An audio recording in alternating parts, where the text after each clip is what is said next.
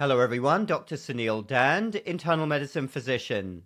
Welcome to another video.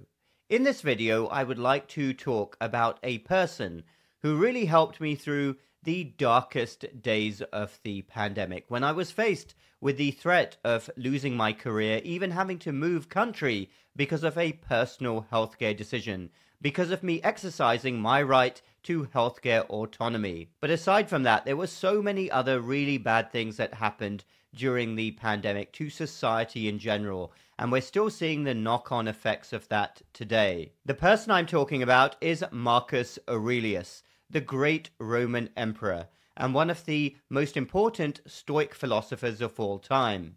Now, I've talked about Stoicism a fair number of times on this channel, and many of you may remember that back when the pandemic was going on, my channel was actually called MedStoic Lifestyle Medicine because I really got into Stoicism and found it very, very helpful. And there's a lot of confusion behind what Stoicism and what being a Stoic actually means. It's not a religion, it's more a way of thinking and a philosophy that anybody can adopt in life to help them get through especially tough times, but also even the good times. I find it a great set of rules and principles to live by. His most famous work is behind me here on my right, the book Meditations. It's not the easiest book to read, but it does give you an excellent insight into Marcus Aurelius's original thoughts and actions. Remember, this was a man, an emperor, who was all powerful, and he still managed to practice extreme virtue in his life. A very rare person indeed. We're unlikely to see anybody like him ever again. So much wisdom and so many timeless quotes, which are as relevant today as they were back then. Remember, this is a Greco Roman philosophy, thousands of years old. One of my favorite quotes from Marcus Aurelius is The object in life is not to find yourself on the side of the majority, but to escape finding yourself in the ranks of the insane. What a great quote. I'm sure many people who watch this channel can relate to that quote, especially with what's happened over the last few years. And a lot of people at regular intervals, because they hear me talking about Marcus Aurelius and Stoicism, they ask me to tell them more about Marcus Aurelius and Stoicism. And rather than me do that, I'm going to share with you probably one of the best overviews of Marcus Aurelius, Stoicism, and his book Meditations that you could ever hear. This is Professor Michael Sugrue. This talk is a few years old, but it is fantastic. And if anybody wants to know more about this and is curious, please listen for the next few minutes. This is absolutely wonderful, and you will learn more about the man Marcus Aurelius. We are unlikely to see anybody like him ever again. The most interesting of the Stoics is Marcus Aurelius. Lord Acton, the great English philosopher and historian, once said that power corrupts, and absolute power corrupts absolutely. And that's generally speaking true. The difficulty with that generalization is Marcus Aurelius. Marcus Aurelius was an absolute ruler. He was a ruler of the Roman Empire. He was an emperor. He had absolute power of life and death over everyone in the known world. I don't mean everyone in the world as we know it today, but everyone in the world as, as the Romans would have known it. They don't know about China or have a very attenuated conception of the Eskimos. For them, the world is the Mediterranean basin, and Rome owns it. And Marcus Aurelius owns Rome, essentially. His word is law. Now, for almost all the Roman emperors, they lived scandalous lives and they disgraced themselves. They were much more concerned with indulging their sensual appetites, satisfying their passions, flying into rages. Marcus Aurelius is the standing exception to that, and the exception to Lord Acton's generalization. In his case, power didn't corrupt. Absolute power did not corrupt absolutely. Instead, absolute power allowed us to see what the man underneath the body is really like. It allowed us to find out what Marcus Aurelius' soul is like. Imagine a man for whom all the restraints of law and custom and political order are taken away. He can have whatever he wants. If a man under those circumstances behaves well, you know something about the soul underneath because no external constraint is making him do what he, what he is doing. And Marcus Aurelius is the one example of an absolute ruler who behaves himself in such a way as not to disgrace himself. It's an amazing temptation. Imagine what it's like. Stop and put yourself in that place for a second. Marcus Aurelius takes the throne in 161 AD and he dies in 180 AD. 19 years controlling the entire world. He can have all the money in the world. That's not an exaggeration. All the money in the world. If he wants it, he can just collect it all. He can have sex with anyone he wants, whenever he wants, under any circumstances. If he wants to get drunk, he can have wine brought in by the boatload, infinitely, forever. He can go on a drunk now and stay drunk for the next 19 years until he dies. Imagine anything that the bronze, desiring, emotional, irrational parts of your souls want. And now imagine that you can have it. Now, under those circumstances, imagine that you are forced to bear with this human condition for 19 long years. Now, ask yourself, and you didn't give a show of hands, but stop and think about it for a minute. How many of you would fail to disgrace yourselves? To tell you the truth, I don't think that I could meet the challenge. If, you, if you're honest about it and you stop and think about what kind of a man it takes to, to bear up under those circumstances, I think you'll have to admit, or at least I'll have to admit, that he's a better man than I am.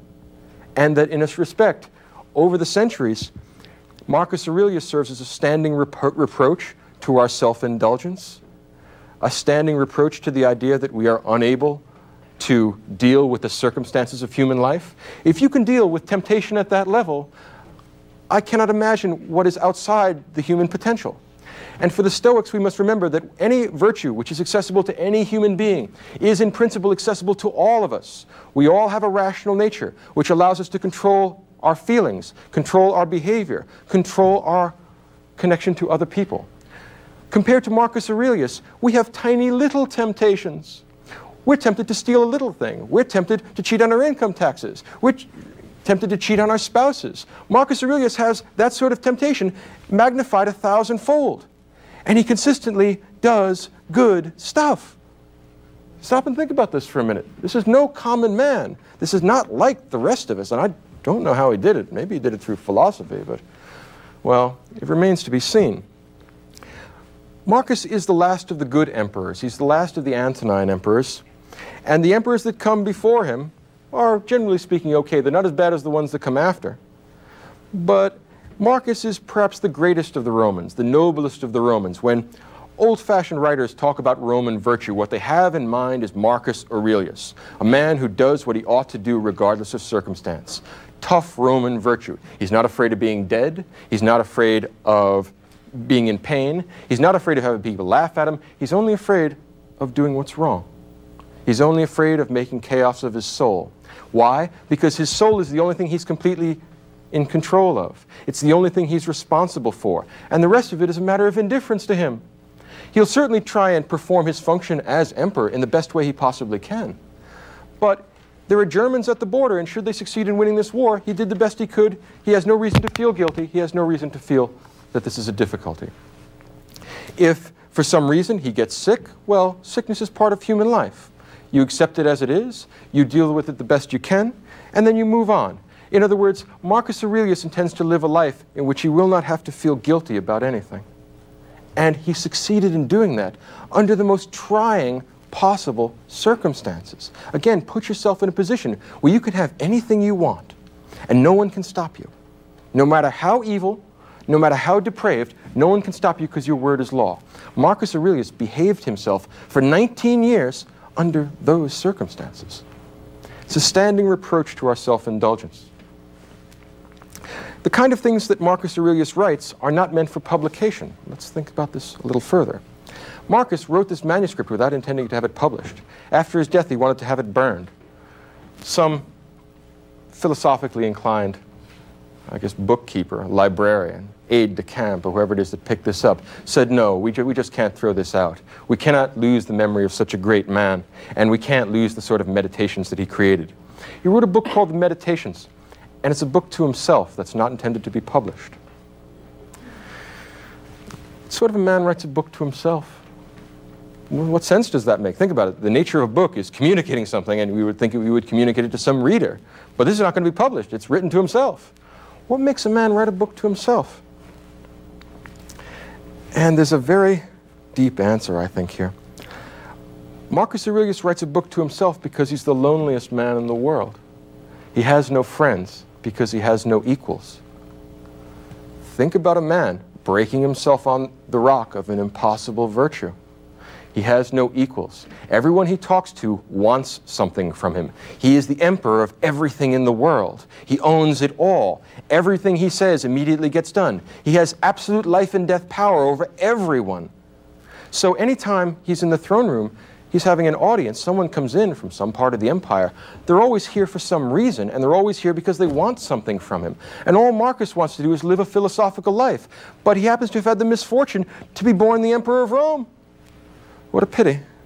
So he has to deal with these self-centered, swinish people all the time, and it's his responsibility to do good for them, to give them justice, to give them both examples of virtue and virtuous laws and virtuous decisions. And the weariness of it gets to him after a while.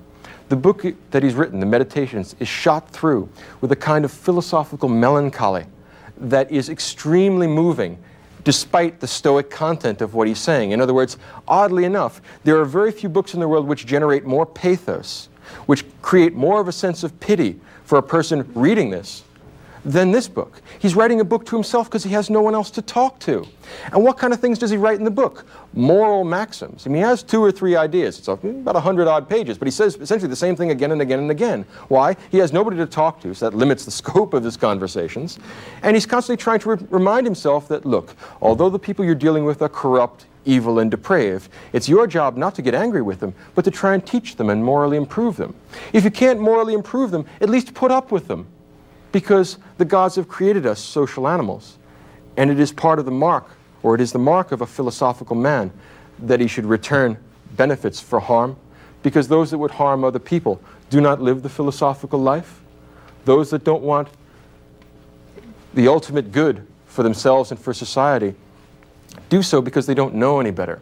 Marcus has not only political power, but wisdom, and in that respect, He's the only example in the Western tradition of any ruler who even remotely approximates Plato's philosopher king. And he has some of the qualities that Plato thought the philosopher king would have. He is totally disdainful of wealth. Why? He owns everything. What would it be like to own everything from England to Egypt? Well, the idea of accumulating more stuff becomes less and less interesting if you stop and think about it. And if you can have sex with, say, a million people, the million at first has very limited attraction. And at that point, he stops to think and he says, I will do my best to constantly do what I ought to do. And there is a sort of whistling in the graveyard tone to this book. He is, in some respects, an enormously lonely man, and in some respects, an enormously sad man. There's a melancholy in this that's terrifically moving. And yet, we ought not to pity Marcus Aurelius because if he looked at our lives, he would pity us pathetic creatures that we are, we don't even meet his standard of virtue, and we're pitying him. Think about the irony of that. He said, Well, I'd pity you back if I didn't think that was disrespectful. Think about what it takes to be something like Marcus Aurelius. We shall not see his like again. In the book itself, he has all kinds of intriguing and caustic, if you will, moral maxims. He says things like this Soon you will have forgotten all things and soon all things will have forgotten you. In other words, don't get overwrought. You're angry with this guy just because he didn't do what he was supposed to do. Ask yourself how many of the people that are working for you are doing what they're supposed to do. Soon, you'll have forgotten all this because you'll be dead. And soon, all the people who know you, they're going to be dead too, and they'll have forgotten you. And so what's the point of being mean to people? Now imagine the kind of philosophical self-restraint we're talking about here. This is a guy who can chop everyone's head off if he gets sufficiently angry, so he never does. Remarkable, remarkable. So Marcus Aurelius is a man who constantly, in his book, is writing short one and two line epigrams that essentially say things like, don't lose your temper with these people, Marcus, you know how they are. Marcus, it's not your fault that they're stupid. You tried to teach them, and you can keep on trying to teach them, but if Socrates was a good man and they killed him, what do you expect them to do to you? On the other hand, Marcus Aurelius is willing to rule the Roman Empire for the same reason that the Platonic philosopher king is. If he gives up, somebody worse is going to take the job, and you know what happens then, right? He'd much rather just go home and read his books. He doesn't want to listen to this stuff. But he says, well, the gods put me here. I didn't ask for this job, but I can't very well give it up. I'd be abdicating my responsibility to other people. Imagine the bad laws and bad emperors were going to get after me. Well, should I give the job up now or stand here until the gods are good enough to relieve me of my post? In fact, that's the metaphor he uses all the time. The gods have put you on guard over the Roman Empire. Everyone else is sleeping. Stay where you are and stay awake, elsewise God knows what's going to happen. Marcus Aurelius is constantly whistling his way through the graveyard, trying to tell him that this is a very happy life, that he loves being a philosopher, and he particularly loves the particular portion of reality the gods have assigned to him. Now, I think that everyone believes this except the people that read this book, which perhaps is why it wasn't supposed to be published. Because when you look at this, you see a terrifically lonely man, a man of immense moral heroism, who has no shoulder to cry on, who disdains crying because what's the point of crying? We must live in accordance with nature. Now, here's the natural condition of human beings they get born, all kinds of stuff happens to them, and they die. Marcus's maxims with reference to that are A, stop complaining. There's nothing to complain about because there's only two kinds of things. There are the kinds of things you can control, and there are the kinds of things you can't. If you can't control it, complaining about it is stupid and a waste of time, and I don't want to hear any more about it because you can't control it, so what's the point of talking about this? Or you have the other kind of thing, the kind of thing you can control, like your intentions, like your behavior, like your actions. And since you can control them, who do you expect to help you out except yourself? Stop complaining about that too. So whether it's the kind of thing you can control, or it's the kind of thing you can control, Marcus Aurelius does not want to hear any complaints, and he does not want to hear any excuses, because there are no excuses to give. Whew. Now, that's easy enough to say. And a lot of people think that other people should be this way. right? Have you noticed it? Like, you can't help but admire this guy. Like, every, every one of us, I bet, in this audience said, wow, what a great guy. I wish I knew him personally. No, you don't. Think of what he'd think of you. you really don't want to know this guy. Imagine working for him. Oh, please. No, this guy is never going to be satisfied. And if he is satisfied, he's not like he's going to give you applause. He's going to say, well, you're doing what you ought to do. No compliments for you. You're doing what you ought to do. You don't need any reward beyond that. You're living like a philosophical man, which is a reward in itself. Virtue is its own reward. You're virtuous. What do you want from me? Get back to work. And of course, if you're not virtuous, you are pretty much what he expects human beings to be, you swine. And what's unnerving about this is that there's not the slightest taint of hypocrisy in it. He not only says this stuff. He acts this stuff. He not only talks the talk, he walks the walk. He does it. And he does it under worse, more difficult circumstances than you fail to do it. And yet he still likes us. In other words, he still go out of his way to help us out. If he were the judge in a court of law, he would still give us justice, even though we have done nothing to deserve it. As a matter of fact, we what is it that, uh, that, that, what's the line from Hamlet? If we gave every man his deserts, who would escape a whipping? Marcus Aurelius would. That's part of the problem with Marcus Aurelius. There's nothing quite like this guy in the whole history of the world.